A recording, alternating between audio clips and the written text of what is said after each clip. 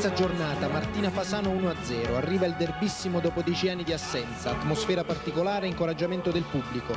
Valà quasi allo scadere del primo tempo, realizza il gol della vittoria che fa felice una città. Arbitro Gaviraghi di Seregno.